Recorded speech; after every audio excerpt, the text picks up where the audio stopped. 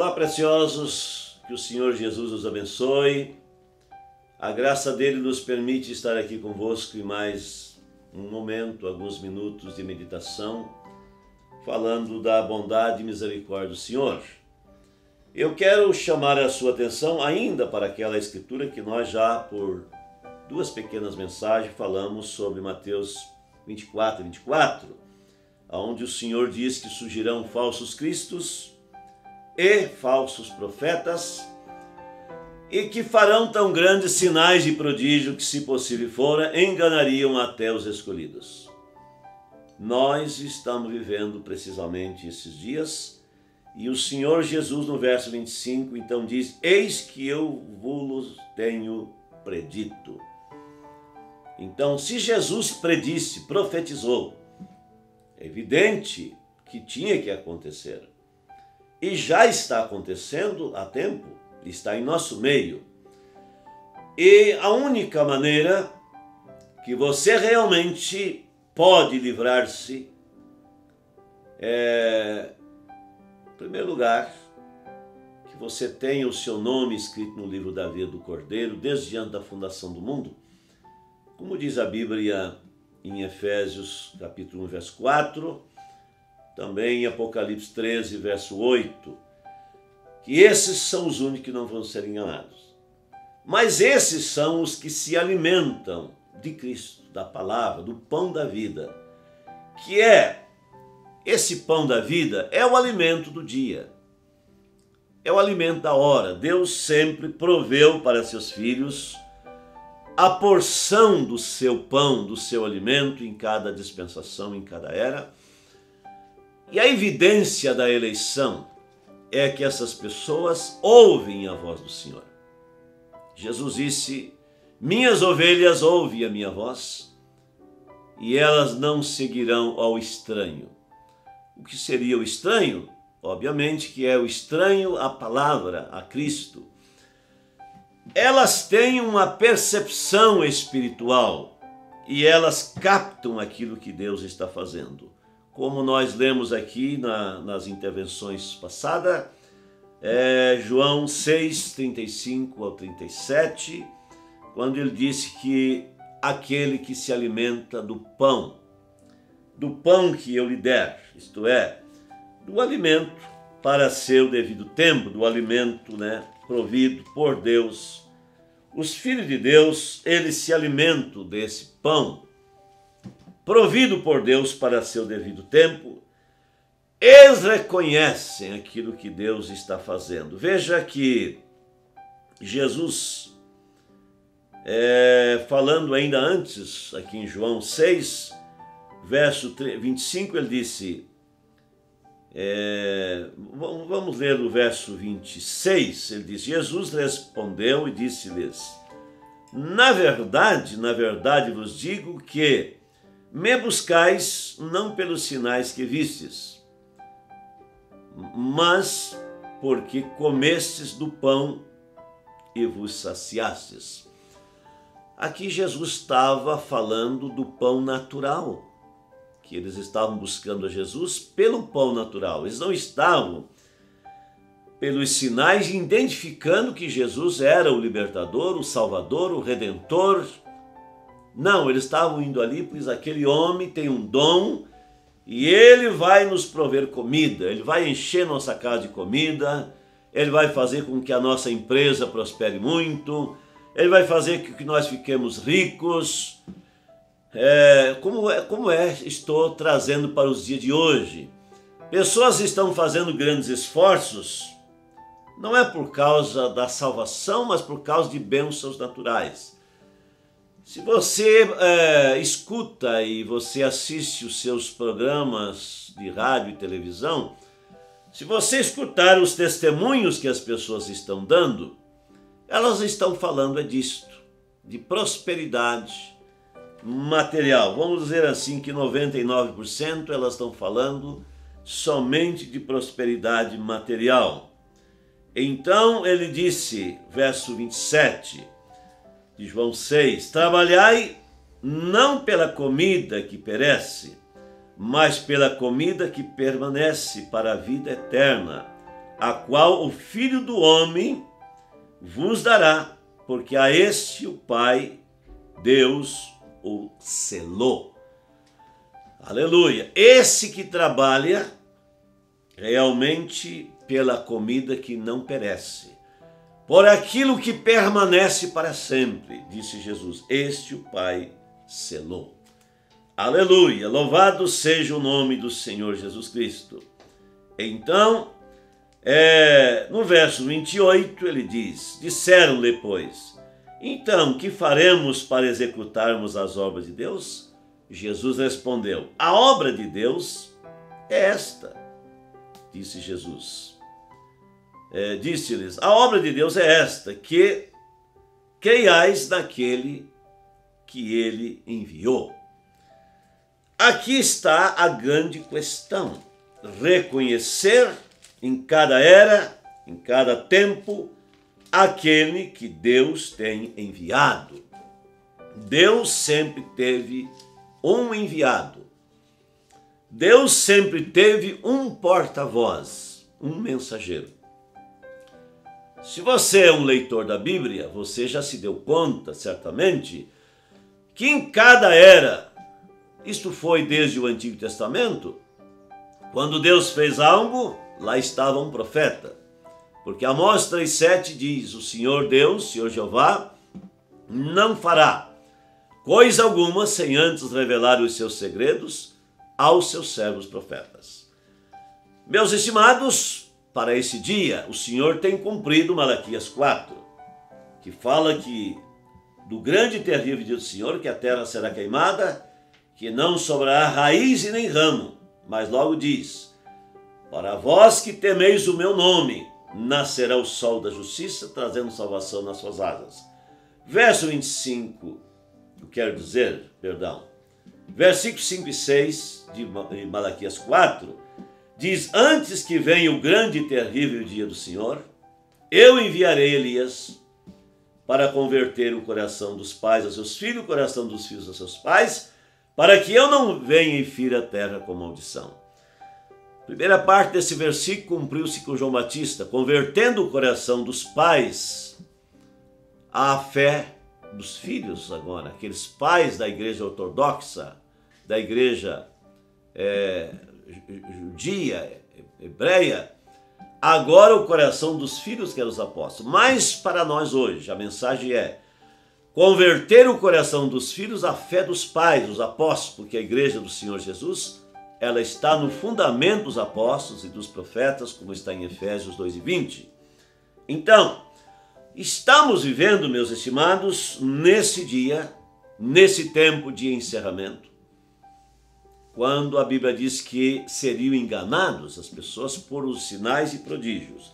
Me permita ainda ler um pouquinho mais a Escritura é, nós lemos aqui no na nossa nosso vídeo passado, nós lemos aqui 1 Timóteo 4, que diz que o Espírito expressamente diz que nos últimos tempos apostatarão alguns da fé, dando ouvidos a espíritos enganadores e doutrina de demônio.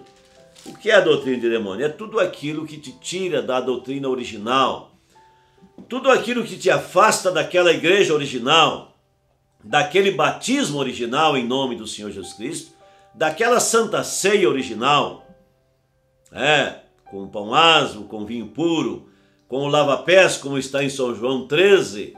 Jesus disse: Se não fizerdes isso, não tens parte comigo. E todas as escrituras, na conduta do homem e da mulher, no seu vestir, como é dito hoje pelos falsos ungidos, que esse negócio da mulher cortar o cabelo não tem nada a ver, esse negócio da mulher usar roupa masculina não tem nada a ver, e para eles não tem nada a ver, é apenas um costume, mas se era um costume, era o costume de Deus. Isso deve permanecer, isto para os filhos de Deus, isto permanece. Mas estão vivendo esses dias, e como falamos na, no nosso vídeo passado sobre a unção. São homens ungidos que enganam as pessoas, porque muitas pessoas não estão conhecendo as Escrituras, não estão buscando conhecer e pensam que porque o homem tem uma unção, não importa o que ele faça, para ele está tudo bem. E não é assim, meus amados. precisa-se conhecer o verdadeiro programa de Deus. Mas eu quero ler uma escritura aqui ainda. Aqui em 2 Timóteo, capítulo no capítulo 3, o Espírito Santo, através de Paulo, falando dessa corrupção dos últimos dias, quando ele diz: Sabe, porém, isso que nos últimos dias sobrevirão tempos trabalhosos. Por que seria tempos trabalhosos? Está falando nos termos espirituais, no, na condição espiritual, para que as pessoas tivessem discernimento daquilo que está acontecendo. Logo diz: Porque haverá homens amantes de si mesmos, avarentos, presunçosos, soberbos, blasfemos, desobedientes a pais e mães, ingratos, profanos. Esse é o dia em que nós vivemos. E quando está falando aqui de que seriam eles amantes de si mesmos, seriam egoístas, pensando apenas em si mesmos, pensando o que eles podem conseguir para si mesmos. Mas também, quando diz aqui que eles seriam desobedientes a pais e mães, é, isso é o que acontece nesses dias, uma, uma era de desobedientes uma era de, de, de realmente pessoas irreverentes, jovens irreverentes, porque já os seus pais não ensinaram, mas também fala nos termos espirituais, que eles estão rejeitando aquela igreja mãe original, eles estão rejeitando aquele fundamento dos pais apostólicos, os pais da igreja estão rejeitando e são desobedientes. Logo diz, sem afeto natural, irreconciliáveis, caluniadores, incontinentes, cruéis, sem amor para com os bons, traidores, obstinados, orgulhosos, mais amigos dos deleitos do que amigos de Deus. Preste você atenção a isto. Talvez você possa dizer aí, ah, isso são os ateus, são isso, são aquilo, são aquele outro, são os incrédulos. Deixa eu ler o versículo 5 para você, que você vai pensar diferente. Diz: Tendo aparência de piedade, mas negando a eficácia dela, desses afasta-te. Veja que eles têm aparência de piedade, mas eles negam a eficácia. Você olha, tá tudo bonitinho, né? Tudo muito aparente.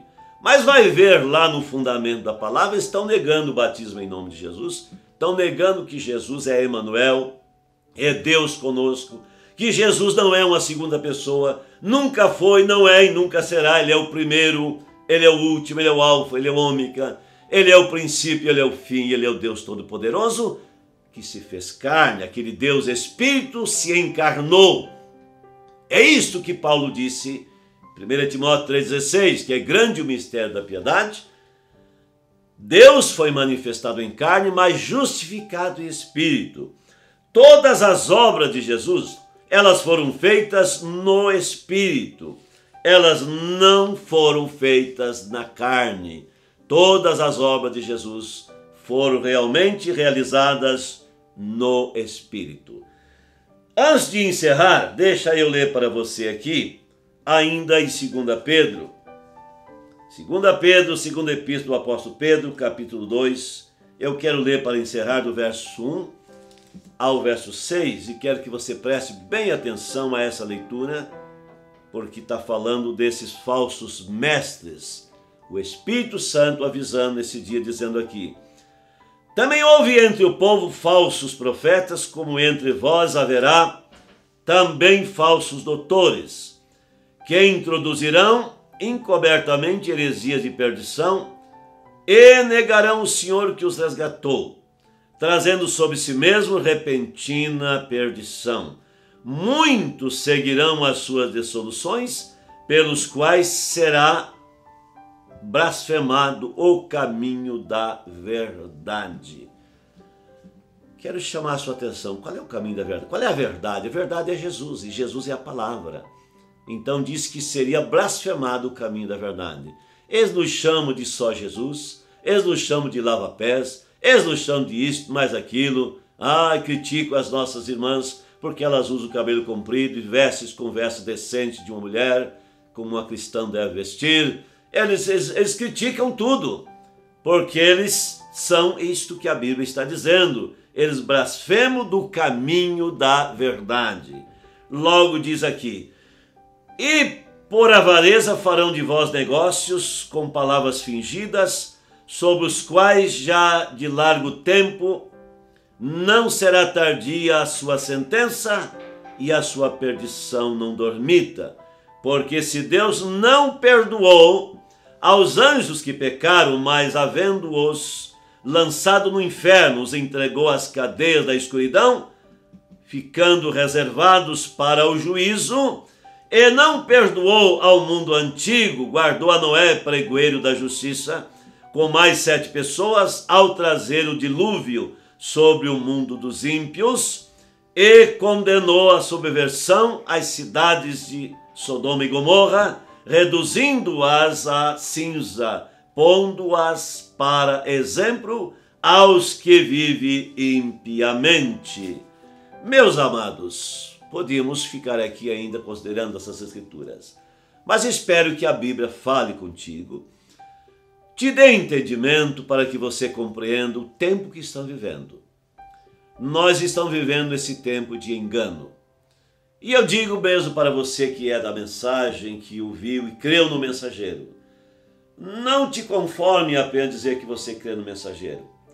A mensagem veio para te trazer o verdadeiro batismo do Espírito Santo para que você se alimente de Cristo, seja um cristão genuíno, cheio do Espírito Santo, e você então não será enganado. O Senhor te conduzirá então.